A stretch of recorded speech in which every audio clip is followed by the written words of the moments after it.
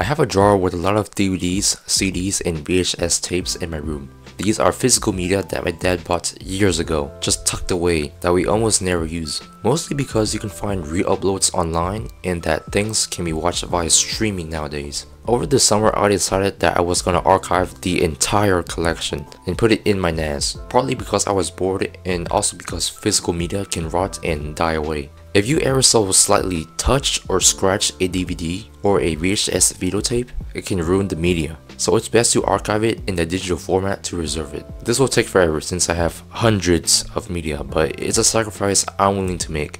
To get started, the first thing I do is to scan or photocopy whatever I can get using my parents' printer. I connect the printer to my laptop and I use the document scanner app on Linux or the Windows Scan app on Windows. If it has a cover like this, I scan each side individually and then put it together using GIMP. If it has paper, I lay it down on the machine and I scan it.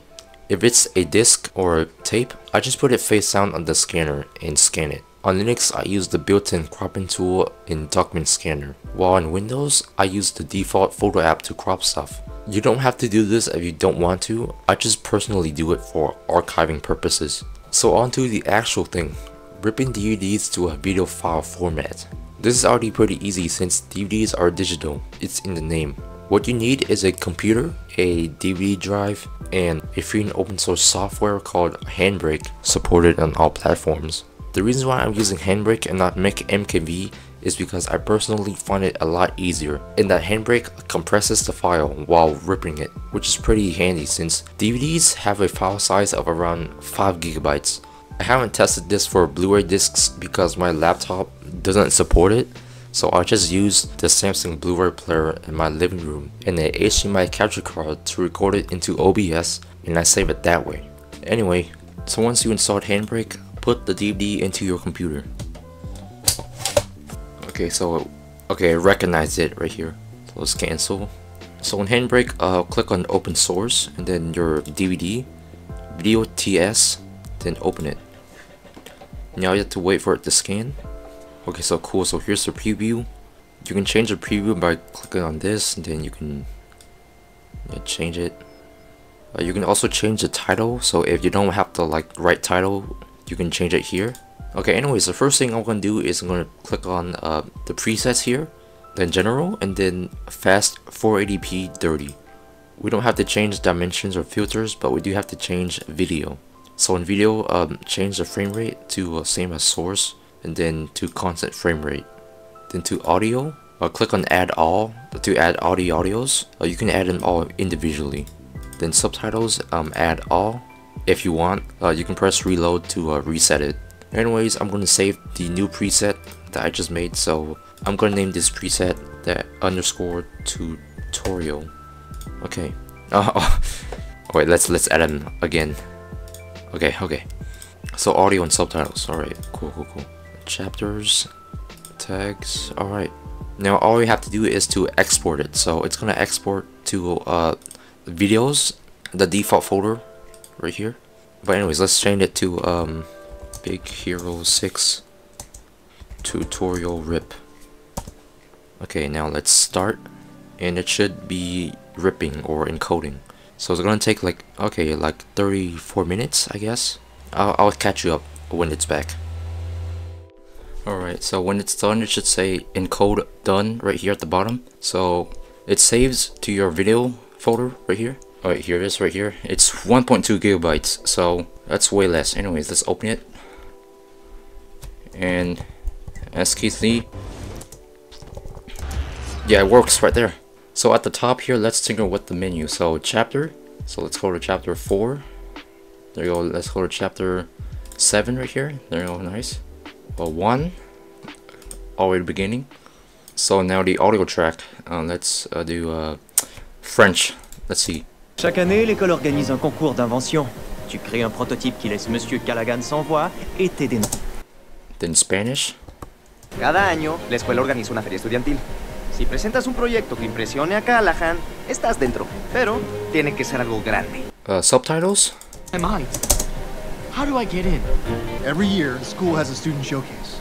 You come up with something, Okay, there. Oh, it was delayed. you're in. But it's gotta be great. Trust me. It will be. So nice, everything works. Um, let's go to codec. So, oh, so it's 360p. All right, all right, close enough. 24 FPS. All right. Okay, so cool. We have everything. We have the chapters. We have audio, the audio tracks, the subtitles. Yeah, we pretty much have everything. But yeah, that's how you rip your DVDs to your computer. Next is ripping CDs to an audio file format. Saying that makes me sound like a nerd, bruh. Again, you need a computer, a CD drive, Asunder CD Ripper for Linux, and Windows Media Player for Windows. Let's get into it. So once that we have Asunder CD Ripper installed on your computer, insert the CD into your computer. So it detected it, that's pretty nice. And make sure it's all the correct metadata. So nice, this is Mozart, and then Bach, Beethoven, Chopin. Yeah, okay, this is this is correct, okay. So, so I don't really have to do anything here, it's already pretty good, but um, I'm gonna go to uh, preferences here. In general, uh, uncheck create M3U playlist. So uncheck it because it makes an extra file that you don't really need. It's just a playlist. Um, file names, you don't really need anything. Encode, now on default is OGG, but I'm just gonna click on MP3. If there's an error on MP3, just um, go into your terminal sudo apt install lame with an L. So install that. And there we go, it should work. Now change it to say 190 like kilobits per second. So yeah, there we go. Um, yeah, that's it. Just uncheck this and then check this. Oh yeah, you can also change the, the destination folder, but I'm just gonna leave it on music. But yeah, now rip it. Okay, so once that's done, it should say all files are created successfully. I'll close that. So it should appear in your music folder. So various 21 greatest classics. Let's click on it. So here's all the 21 songs. Let's click on Chopin, I guess.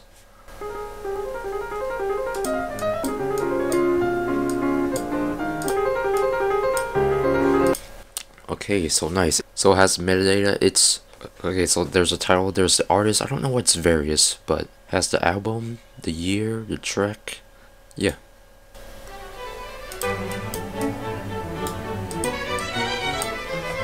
Yeah, nice.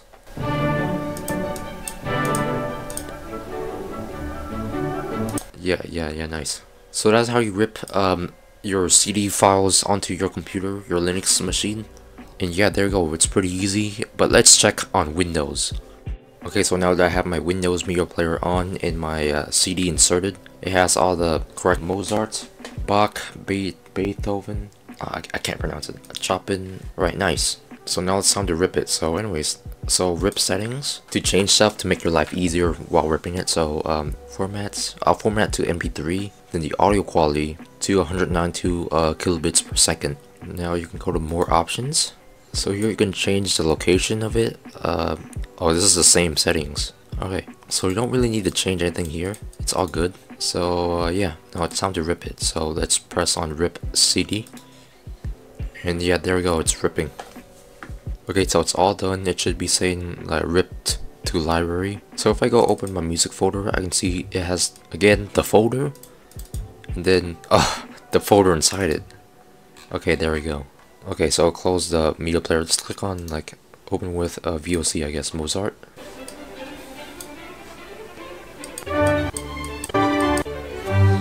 Okay, so yeah, that's pretty nice. Chopin. Okay, nice. Just how uh, I remember it. Mozart again.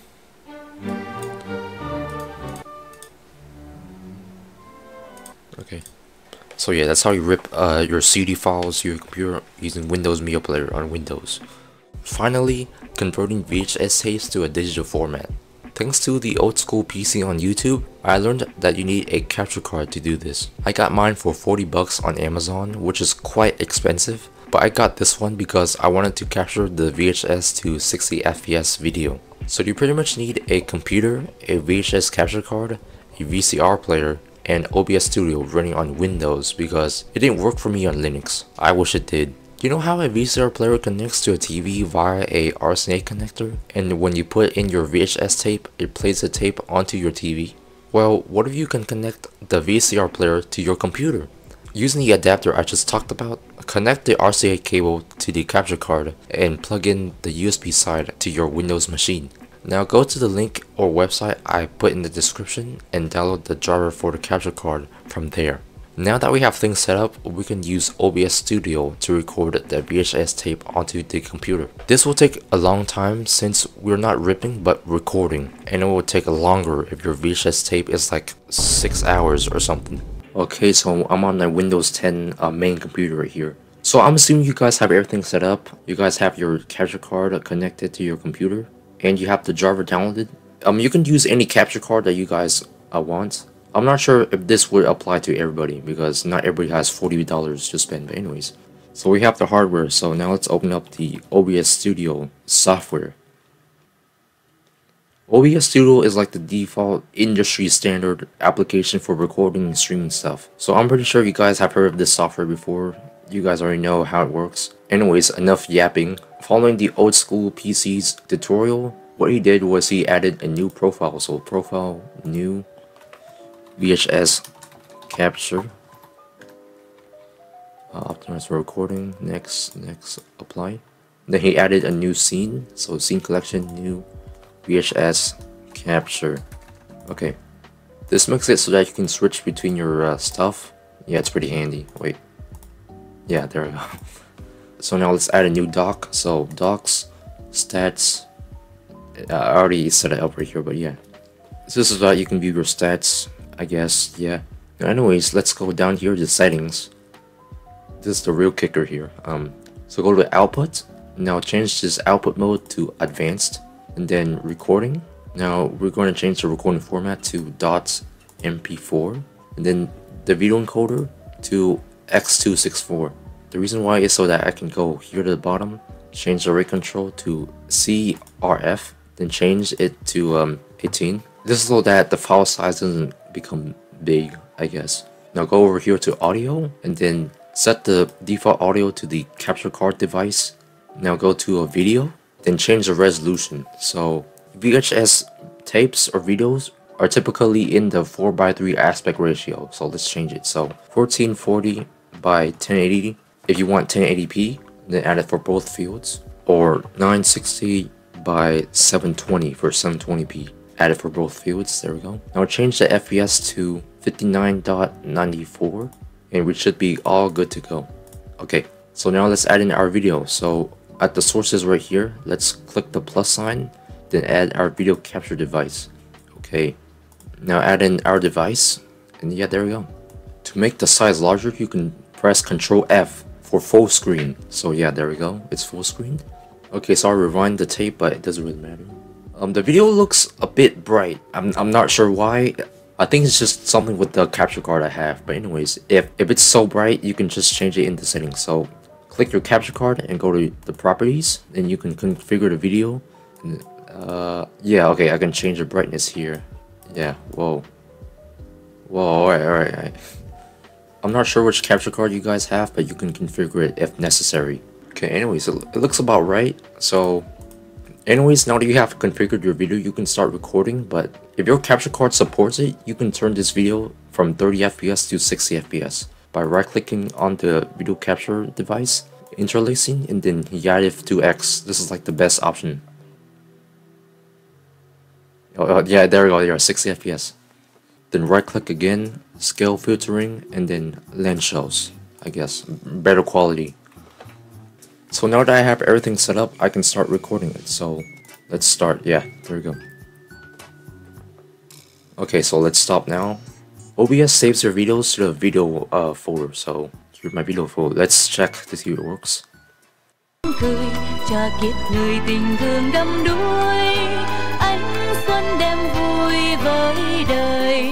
The sound works, so yeah, it's a success. Now sometimes you can see that it drops frames, like some parts, but when going back to recording, it's pretty smooth. I don't know why. Like it dropped frames for some reason.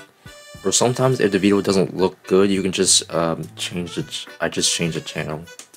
Press the button on my VCR player. I'm not sure which VCR player you guys have, but yeah.